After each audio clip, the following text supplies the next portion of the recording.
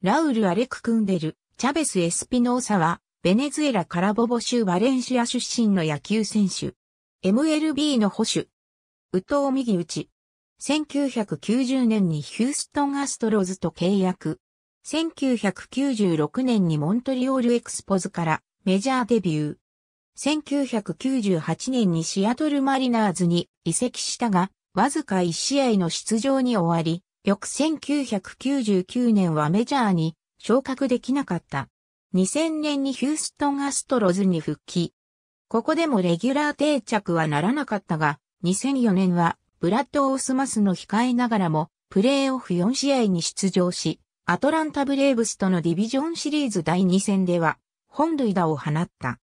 翌2005年、アストロズはワールドシリーズまで進出したが、チャベスは出場機会がなかった。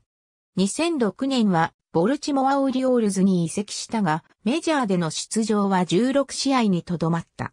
2007年はニューヨークヤンキースとマイナー契約を結んだが、メジャー昇格はなかった。